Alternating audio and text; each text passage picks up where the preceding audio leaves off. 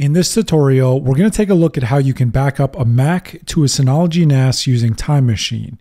Now we're going to be utilizing SMB for this, and there's a setup process that we have to run first on the Synology NAS and then on the Mac itself. But after you set it up, it should run on its own in the background without you having to do a thing.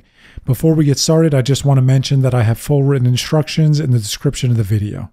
Now, I already went through and created a shared folder on my Synology NAS that I'm going to be using for my Time Machine backup.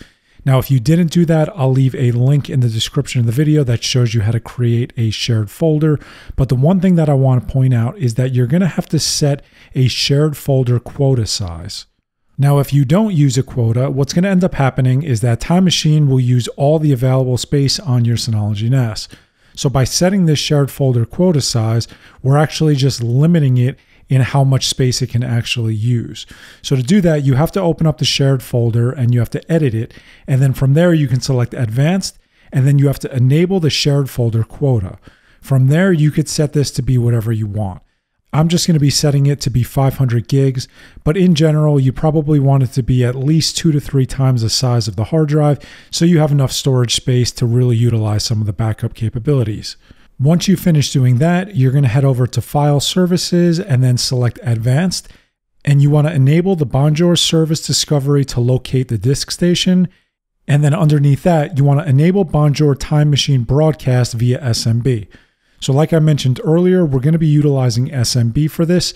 AFP is an outdated technology at this point. It's something that you don't really want to use if you don't have to. So, we're going to be specifically using SMB. As soon as you do that, you can select Set Time Machine Folders, and then you can select the folder that you want to back up your Mac to. After you save and apply all of that, you can open up the system preferences on your Mac. And after selecting Time Machine, you're going to be able to select Backup automatically. And this is just going to ensure that Time Machine automatically backs up in the background without you having to do anything. At the next step, you should see the folder that you set up on your Synology NAS at that point. You can also encrypt backups if you want. So this will just ensure that the backup itself is encrypted on your Synology NAS. And then after you get to the next step, you're going to be able to connect to it and then you're going to have to enter in a DSM user and password. Now you have to make sure that the user you enter has access to the shared folder on the Synology NAS. But after you enter the credentials and you connect, the backup should automatically start. Now at this point, with the backup automatically option enabled, this will automatically back up in the background and you're not going to have to actually do anything. Now we're going to switch over to the actual restoration side. So we're not going to look at how you can restore an entire Mac. In the written instructions, I have a link that'll point you there and I'll leave a link in the description. But restoring files is extremely easy and what you have to basically do is open up the Launchpad, from there, you can search for Time Machine and then you can launch the application. And then a Finder window is going to pop up that you can actually go back through all of your backups and view all of the files. So if you have a file or a folder that was accidentally deleted, you can go back through those backups. You can right click whatever file or folder it is, and then you can restore it to a specific location. That's how you would restore individual files.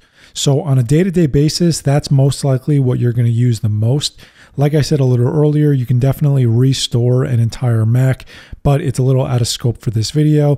The point is that at this time, you'll be able to back up your Mac to a Synology NAS, and then if you ever have to restore any files, you can also go through and restore them, and you'll be restoring them directly from your Synology NAS. So I'm hopeful that this video helped you guys out. If you have any questions, feel free to leave them in the comments. If you like the video, give it a thumbs up, and please consider subscribing to the channel if you like this type of content. Thanks, guys.